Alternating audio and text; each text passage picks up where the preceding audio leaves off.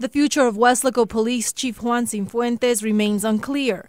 Roberto Garcia, the regional attorney with the Combined Law Enforcement Associations of Texas, or CLEAT, wants the chief investigated on claims Cifuentes did little to stop a bank robbery he witnessed on September 16th. Some of the people Cifuentes swore to protect agree. Him not doing anything is totally irresponsible.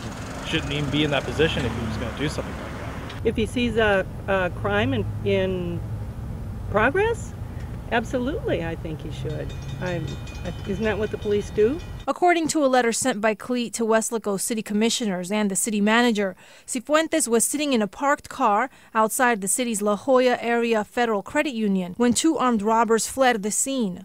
Cifuentes only called dispatch to report suspicious activity, according to the five page letter. Wilson Dunn and Stephanie Wiley say the police chief made a mistake. Well, even if you're off duty, you're supposed to uphold the law if nothing else, he could have at least followed him and while he was calling for backup to have police officers follow him. He should have a, a, the level of training that would, would instinctively you know, urge him to do what is necessary if he saw a crime in progress. Other residents are happy with the chief's work so far and say there's still not enough information to prove Cifuentes was in violation of rules of conduct. He's doing a good job so far, it looks like it.